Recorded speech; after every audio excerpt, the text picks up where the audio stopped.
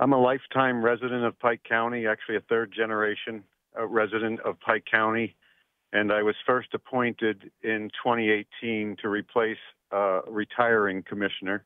And then I ran once in 2019, and it's the only other time I've run for office. I'm a business owner here, and I've created first generation businesses that are significant businesses, the largest recreational businesses in Pike County, and also was the executive director of a camp operation that's the largest in Pike County. So I just felt that it was time for, to get even more involved, even though I had been on many boards and volunteered for many type many community service things throughout my years in business. I felt that it was time to give back more, and I felt that I could provide the leadership because of my business background and because of my com- community activities to help Pike continue into the future. I bring to the table, I embrace technology, and I believe that technology can make our services more efficient and could, again, lead us into the future. I also have extensive background in managing people and creating benefit packages and facility management, all because of my interest in my own businesses. So, for all those reasons, I ran. Why am I continuing to run? Because there's unfinished business. And for me, if anybody has heard me speak throughout the last four years, my number one priority is, is healthcare services. And we have been successful in bringing a tick-borne uh, disease center into the center of, of the county, and we've also facilitated opening up a, a women's health clinic.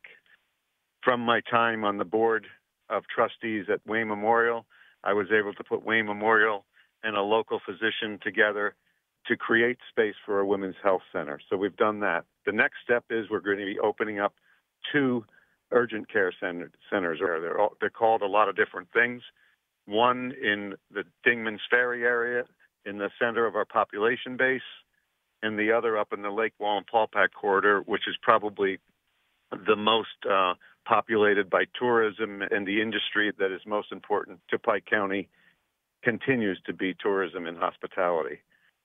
That is the main reason that I'm running. We also have a number of other things that I feel are unfinished and I'd like to complete during the next four years let's talk a little bit more about that uh, access to healthcare in, in areas in Pike County. Considering that the Pike County lacks a hospital, we can talk about what measures you have done and, and what measures you, you plan to do to you know guarantee that residents in any every part of Pike County has high quality healthcare service. So, what I've been able to facilitate um, during my time here is a relationship with a number of of providers and since my very first day in office, we went to nearly every provider that existed in the Northeast and in the tri state area to see if there was interest in coming to Pike County. In the end, we did find a company, a large company out of New York, Northwell Health, and they actually contacted us because a lot of their executives have homes in Pike County on Lake Wallenpaupack. So that started a conversation about three years ago and has ended with the, the commitment that they would build two urgent care facilities and now uh, a commitment to build a community hospital with a with a partner in Pennsylvania. Partner is going to be the Lehigh Hospital System out of uh, a little south of Pike County. So the partnering of the two substantial healthcare providers coming into Pike County is a really positive and motivating thing for me because we've introduced them to Pike County, but more so for the residents. Uh, a community hospital will touch every single resident of Pike County and lead us into the future with something that Pike County has never had, and, and, and that is a, a, a hospital system that has two urgent cares and a, and, a, and a hub that's a hospital. It'll help our EMS services much better because they won't have to travel as far when, when an ambulance shows up at your door. I think that's where we are with healthcare right now. One of the concerns uh, voiced by some Pike residents uh, pertains to the impending construction of a sizable warehouse in Milford. Uh, they worry about the potential issues with increased traffic, strain on local infrastructure, and the warehouse's location, which is said to be directly above an aquifer. The question that arises is can Pike County effectively manage the growth while safeguarding the environment or this is or, or is this a challenging balance to strike? It is a challenging balance to strike, but it's an important balance. I have stated from the very beginning I am against anything that can impair the water quality in the in in the residents uh, and, and in this situation the residents of the Milford Borough in that area right there that have a an aquifer that supplies their water. I think you've probably heard this from every other commissioner that you've talked to. This is a municipality concerned, and they create zoning. They create the possibility it, within their municipality and zone it for what can happen in each of their zones. And that is an area that is zoned with the uh, listed use as a warehouse. However, I also think that there's going to be great concern given to this project because that it sits on the aquifer. And and and as the municipality works through this and and as they uh, continue to to look at the project, it will move on to the state and, and DEP, and then it'll move on to the federal government with the EPA, and along with another a, a, a lot of other organizations. It's also important to note that our solicitor has advised us to, as commissioners, to make sure that we do not take a stance on it. No matter how we feel personally about it, as a commissioner, we should not take a stance on it because this could end up in our own court system someday. And if it does, whoever is taking us to court will say, that they cannot get a fair trial here because we've come out one way or the other on it. Yes, it's a careful balance. It's a very challenging project. I will also point out that on that same properties, there, there's two gas stations, there's a PennDOT salt facility, there's a business park, and there's residential housing, and there's also some commercial business already up there with, I believe, no protection of the aquifer. So I'm hoping that bringing this project to the forefront provides for a future where the aquifer can be uh, protected with all of the things that are up there. And I think in the end, it's very possible that something positive can happen to protect the aquifer into the future. Given the scarcity of affordable housing in the country and also in certain areas of Pike County, how do you plan to ensure continued accessibility for housing for all residents in Pike County?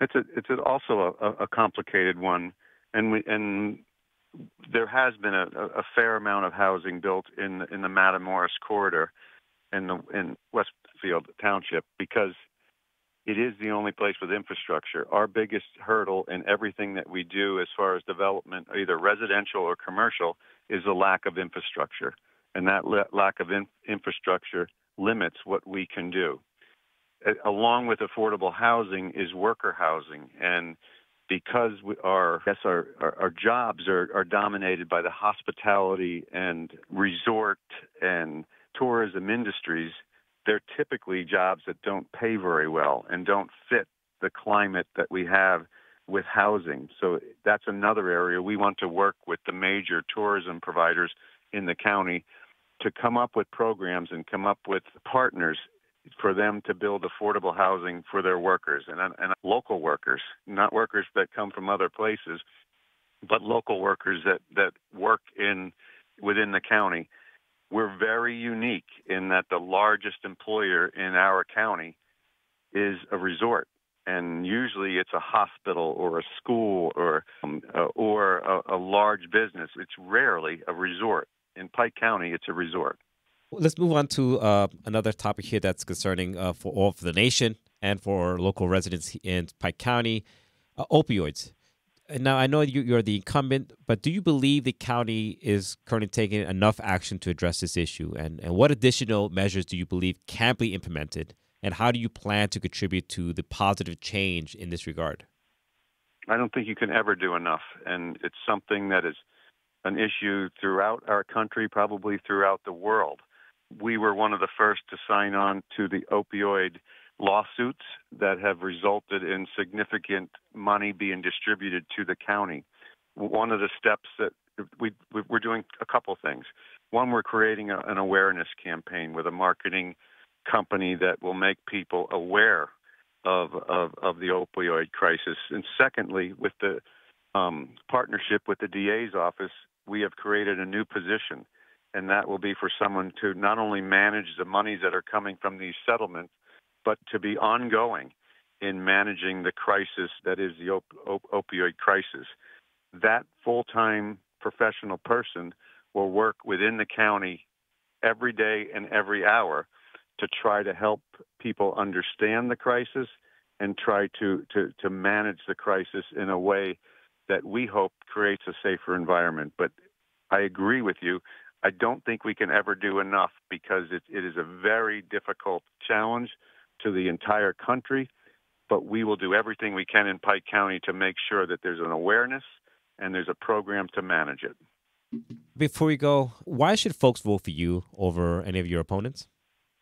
I think I bring a unique set of skill set to this. As a long term business owner of businesses that employ a lot of people in our main industry, that it's tourism, I think I represent a lot of people in Pike County. Secondly, I've lived here and been active in the community my entire life. I care for the community. I care for uh, each and every neighbors. I understand the job because I've been doing it and I was involved before I was doing it. And I, I don't think there's another candidate that has the employment qualifications that I have. And Pike County employs about 450 people. Attracting and maintaining uh, employees to provide quality services is paramount to any success that anyone would have in this job. It's a complicated job. There are not only employment issues, there's contractual issues, and a lot of the things that happen in business happen in, in, in government. And I think that the skill set that I've created over 35 years of owning my own businesses puts me in a, a unique position to be qualified to lead the county. Ron, thank you so much for talking to us. We're talking to Ron, who's running for reelection to the Pike County Board of Commissioners on the Republican line. Thank you so much for talking to us and letting us know your thoughts on the issues. Thank you.